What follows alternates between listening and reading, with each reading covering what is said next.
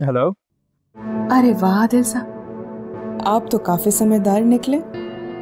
मुझे उम्मीद है कि युसरा आपके लिए एक बेहतर लाइफ पार्टनर साबित होगी।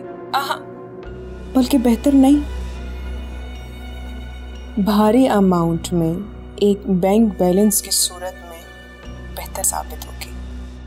बाजी जी आपकी बातों से तो ऐसा लग रहा है कि आपकी कोई पुरानी दुश्मनी है उनके साथ। अरे वाह दिल साहब आप तो बड़े सख्त निकले।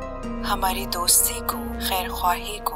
महसूस करने के बजाय दुश्मनी के तलाजू में तोल रहे लगता है कि मोबाइल पसंद नहीं आया आपको।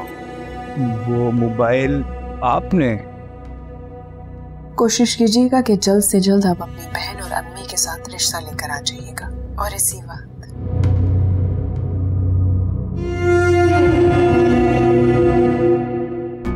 मोबाइल देने वाली ये लड़की है मगर ये इतनी मेहरबानियाँ क्यों कर रही है? लगता है इस रिश्ते में इसका भी कोई फ़ायदा है। तो इसके साथ साझेदारी बुरी नहीं।